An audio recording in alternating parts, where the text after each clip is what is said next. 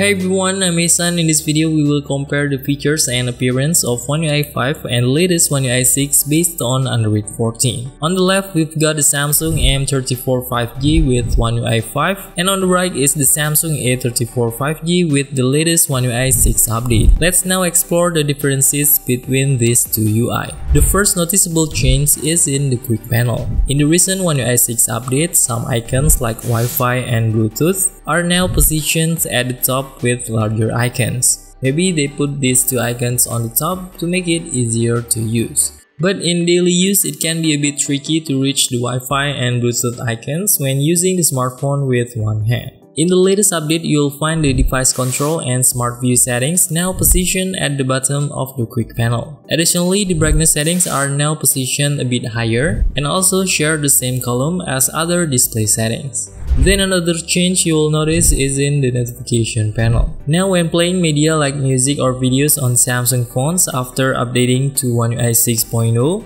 there are new cool animations added. You'll see this animation right away in both the notification panel and on the lock screen when playing media. When you minimize the media player display in the notification panel, it might resemble the previous layout from One UI 5. But when you expand the display in the notification panel or on the lock screen, you will see the new display that features an album art background that matches the playing media, along with a fascinating sound wave effect.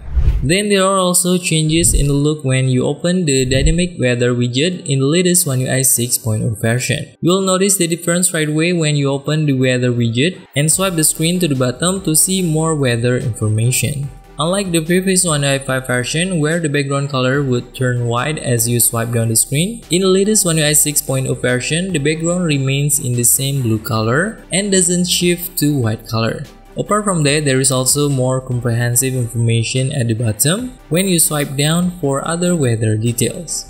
Then there are also other differences that you will notice right away when you open the camera application. The camera display in the One UI 6 version now features a new layout that is simpler and easier to understand, especially in the photo resolution settings and video resolution and frame rate settings. The settings are now cleaner and easier to understand. You can easily see the available options for video resolution and frame rate, matching the recording capabilities of your Samsung phone. Then in the camera watermark settings, a new options has also been added. Now you can choose to display the watermark not only at the bottom of the photo, but also in the top area of the photo. Then in the latest camera settings, the document scanning option is now separated from the scene optimizer section. So now the document scanning settings are directly in the outer camera settings. Additionally, in the latest version, a level line will also instantly appear to help center photos and videos in the middle of the camera preview. The level lines for photos and videos will appear instantly when you activate grid lines in the camera settings. Next, in the camera settings, there is also a new additional option called swipe up or down to switch camera. By having this option, you can deactivate the camera switch gesture with swipe, which previously you couldn't deactivate in One UI 5 version. Then when you open a photo inside the gallery application and swipe up to see more details, Despite the detailed information about the photo that will be displayed, in the latest One UI 6 update, now a quick editing option will also immediately appear when opening photo details. Here usually you will see two options, Remaster and Object Eraser. Then there are also differences when you select a photo object in the gallery with auto selection feature. In One UI 6 version, when you choose an object in photo in the gallery using the auto selection feature, there is an added option called Save as Sticker. Furthermore, when you open a video using the latest video player in One UI 6, the display is slightly different from the previous One UI 5 version. Now the navigation icons like rewind, pause, and next are positioned in the middle of the video preview. And the video capture icon has also been moved to the top left next to the GIF icon. Additionally, the video speed settings option is also now directly at the bottom center of the video player preview. Then for the appearance of the photo editor, there are now many changes. The new appearance now comes with larger icons. And the options that were previously in the three dots icon at the bottom right, now it's been moved to the leftmost icon for easier access. When you press the options icon on the far left, you will immediately see interesting features for editing photos presented with bigger and clearer icons. Then in the gallery options section, there is now a new video editor called Studio in One UI 6 update. The latest video editor application allows you to instantly edit the video and save the video project which you can continue at another time. Moreover, when multitasking in One UI 6, there is also a slight difference compared to One UI 5. In the latest version, when you open an application in pop-up mode, it will remain in pop-up mode even after you open Task Changer and switch to another application.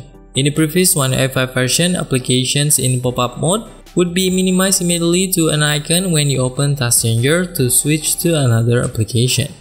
Then the font display in the One UI 6 update also being replaced by a new font called Samsung One UI Sans. This fresh phone also appears slightly larger in size compared to the old phone in the previous One UI 5. Moreover, the icons now feature a more vibrant color, and there are changes in the basic color of some icons, such as connected devices icon. Then there are also color changes in the icon themes, home screen, lock screen, and location settings.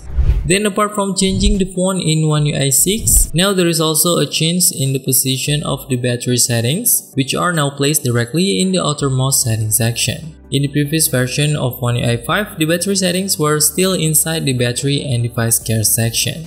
Then in security and privacy settings, there is now a new setting called auto blocker in the latest update. This setting is meant to safeguard your smartphone by automatically blocking the installation of unknown applications preventing accidental installations. Moreover, there are also differences in the appearance of emojis, which now look distinct after the One UI 6.0 update. The difference is especially noticeable in the facial expression emoji, which now features a more minimalist look. Apart from that, this latest emoji also looks a little similar in color to the emoji on the iPhone. Then in My Files application, there is also now a suggestion feature in latest One UI 6. This feature offers several suggestions based on the condition of your smartphone. It will help you in identifying files that can be deleted from the internal memory.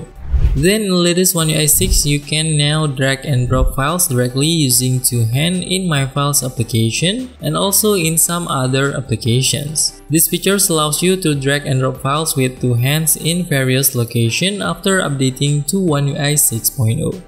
Then to see other interesting features in One UI 6.0, you can directly tap on the video that appears on the screen. Hopefully useful, see you in the next video.